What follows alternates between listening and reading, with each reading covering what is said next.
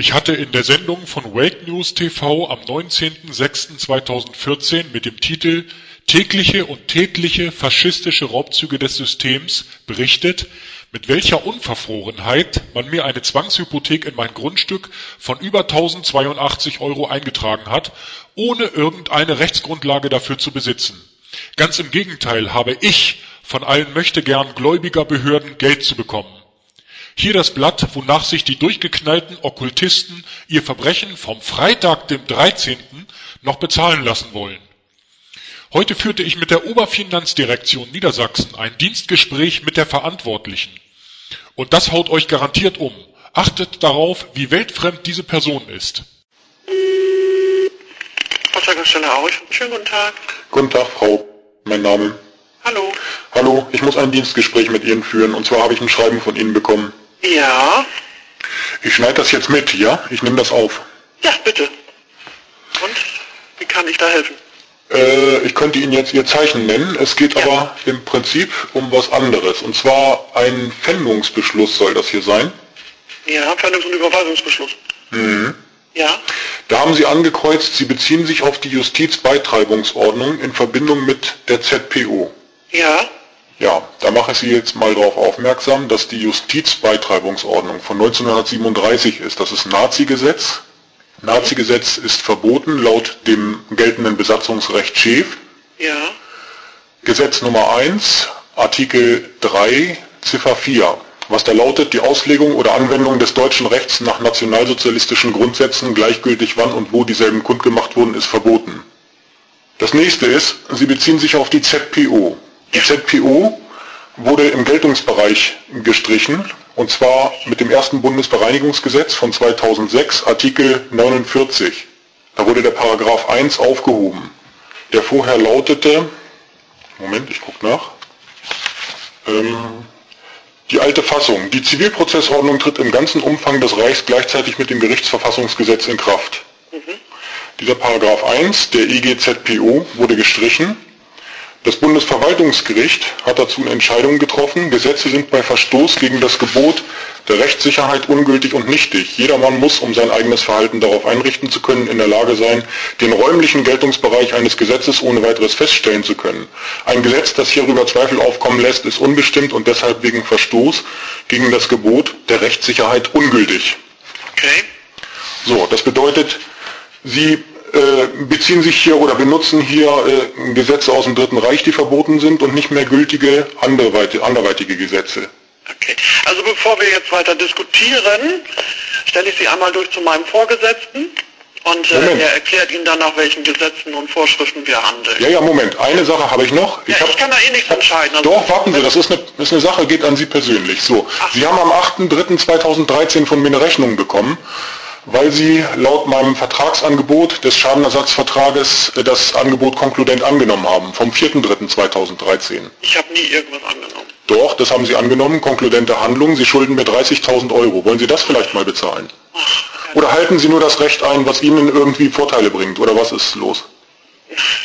Ja, was denn?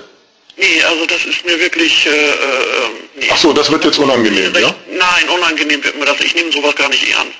Ach so, wissen Sie was? Ich nehme Sie auch nicht ernst. Genau. Wissen Sie das? Ja? Und dann sehen wir mal... äh, Ja, Sie fangen sich einen Strafantrag ein, Sie fangen sich einen Strafantrag bei den übergeordneten Stellen im Ausland ein. Ja, nur dass Sie das mal Bescheid, dass Sie Bescheid wissen, okay? Ja, ist okay, machen Sie. Gut. So, also Sie bleiben weiterhin bei Ihrer Masche, dass Sie Nazirecht äh, benutzen und nicht mehr gültige Gesetze. Ich benutze kein Nazirecht. Sie haben angekreuzt Justizbeitreibungsordnung und ZPO. Ist für mich gültig. Was für Sie gültig ist, interessiert überhaupt keinen. Und wenn ich einen roten Hut auf habe, interessiert das auch keinen. Die gültige Rechtslage sieht so aus, dass diese Gesetze nicht anwendbar sind. Ich habe Ihnen gerade schon gesagt, dass ich Sie durchstelle zu meinem Vorgesetzten, damit Sie mit denen über die gültige Rechtslage diskutieren können. Und der wäre wer? Herr Fratz.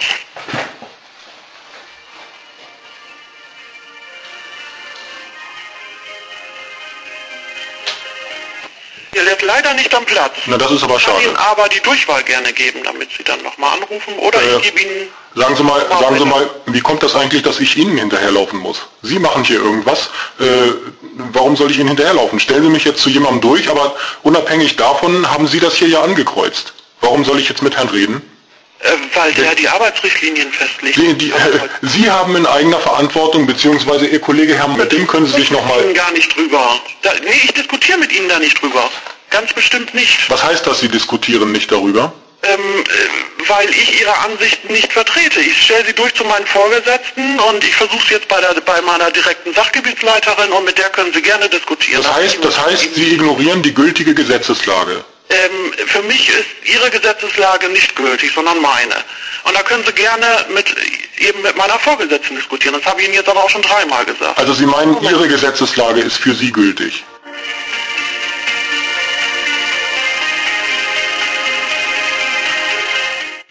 Tja, wir haben heute Pech, da ist auch keiner am Platz. Ach, nun, das ist aber schade. Ja. Das ist ja wirklich jammerschade. Wissen Sie was? mir ja gerne Ihre Telefonnummer geben Nein. und einer von meinen Vorgesetzten wird Sie zurückrufen, damit Sie nicht hinter uns herlaufen. Wissen Sie, wir machen das mal ganz anders. Sie werden sich informieren über das, was ich Ihnen gerade gesagt habe. Das ist die gültige Gesetzeslage und dann telefonieren wir am Montag nochmal miteinander. Ja, wir können, Sie brauchen mit mir gar nicht mehr sprechen, das machen meine Vorgesetzten. Die tragen da äh, die Verantwortung und werden Sie dann aufklären, nach welchen Gesetzen wir handeln und was für Sie hier in Deutschland gültig ist.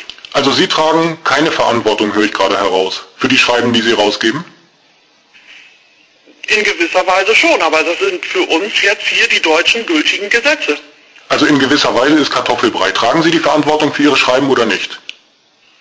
Ja, Ja. ja. Gut, Sie tragen also die Verantwortung für Ihre Schreiben. Zeigen Sie mich irgendwo im Ausland an, fordern Sie Ihre 30.000 Euro, egal wo. Das fordern Sie dann ja komischerweise auch nach deutschen Gesetzen, die dann wieder gültig sind für Sie.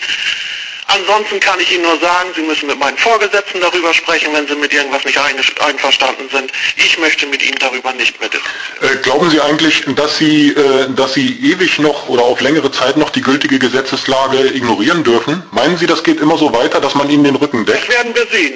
Da bin ich auch der Meinung. Ja, Das sehe ich aber auch so, dass wir das sehen werden. Demnächst schon. Ich glaube, so lange dauert es gar nicht mehr. ja, das, äh, Ne? Das haben Sie doch ich bin mitbekommen. leider kein Wahrsager und kann nicht in die Zukunft gucken. naja, Sie können aber die Augen aufmachen und in Ihre Umgebung gucken. Da sehen Sie schon Ja, mal, was das kann passiert. ich, ja. Ne? ja. Mhm. ja. Und dann behalte ich meine Meinung jetzt lieber für mich. Die können Sie auch gerne äußern. Das ist mir vollkommen egal. Da bin ich Ja. immun. Ja, das merke ich. Gut, ich danke für das Dienstgespräch. Ja, sehr gerne. Jo. Wir halten also fest, die Oberfinanzdirektion Niedersachsen wendet vorsätzlich Nazi-Unrecht an sowie längst erloschene BRD-Gesetze. Die Mitarbeiterin unterschreibt sogar einige ihrer Schreiben, für welche sie jedoch nicht oder wahlweise nur ein bisschen verantwortlich ist. Wenn die Mitarbeiterin bei ihrem Raubzug erwischt und zur Rede gestellt wird, sind auf einmal zwei Vorgesetzte zuständig, welche aber günstigerweise nicht da sind. Die Oberfinanzdirektion hat eine Wunschmeinung zur Gültigkeit jener Gesetze, welche gerade für ihre Eintreibungen die Kasse klingeln lassen oder wo man anderen etwas mit Gewalt entreißen kann. Der Vertrag, den die Oberfinanzdirektion geschlossen hat, oder die Gesetze, die für die Oberfinanzdirektion ungünstig sind, die gelten dann einfach mal nicht, in diesem speziellen Fall. Es stellt sich die Frage, welchen für mich ungünstigen Vertrag ich mit der OFD geschlossen haben soll, dass mir eine Zwangshypothek aufgezwungen wird. Das wird mir immer ein Rätsel bleiben. Weder gibt es einen für mich ungünstigen Vertrag, noch gibt es eine Gebundenheit wegen angenommen staatlichen Hoheitshandlungen, noch gibt es hier eine Rechtsgrundlage zugunsten der OFD. Bringen wir es mal auf den Punkt. Die Behörden sind mit arroganten, realitätsresistenten Miniaturfaschisten besetzt, die wie feige kleine Wadenbeißer laut kläffen, aber dabei ständig rückwärts tänzeln.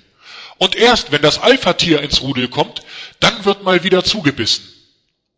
Der Spruch, Sie haben Ihre Gesetze und wir haben unsere, ist mir übrigens bestens bekannt. Also was Sie mir da vorgelegt haben, Sie wissen auch, wie bei uns die Rechtslage ist, wie wir das sehen. Also was Sie mir da vorgelegt haben, Sie wissen auch, wie bei uns die Rechtslage ist, wie wir das sehen. Ihr wisst, was das bedeutet?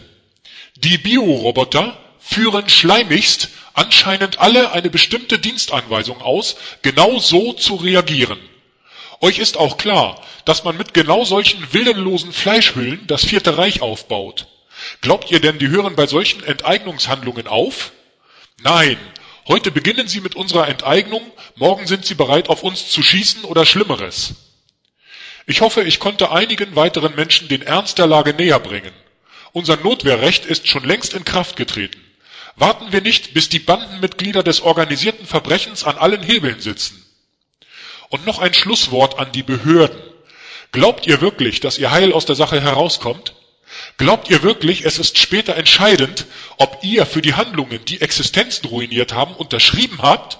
Glaubt ihr das im Ernst? Der Zorn des Volkes wird euch treffen und das habt ihr verdient. Ich habe das jetzt Kenntnis genommen, dass es Diebstahl ist etc. pp. Machen Sie schriftlich. Und Sie machen flott weiter. Wissen Sie was? Wissen Sie was? Wenn die BRD hier mal auseinandergepflückt wird, wissen Sie, wer dann dran ist? Dann sind die, dann sind die Letzten in der Kette dran. Dann sind die Letzten in der Kette dran und Sie werden einer derjenigen sein, die ich mir ranknöpfe. Und Sie werden erst ein bisschen enteignet von mir und danach werden Sie in den Bau wandern. Ja, denn das, was Sie hier machen, hallo, denn das, was Sie hier machen, sind Straftaten am laufenden Band. Und Sie fühlen sich offenbar noch ganz gut dabei, was? Weil das macht keinen Sinn. Auf Wiedersehen.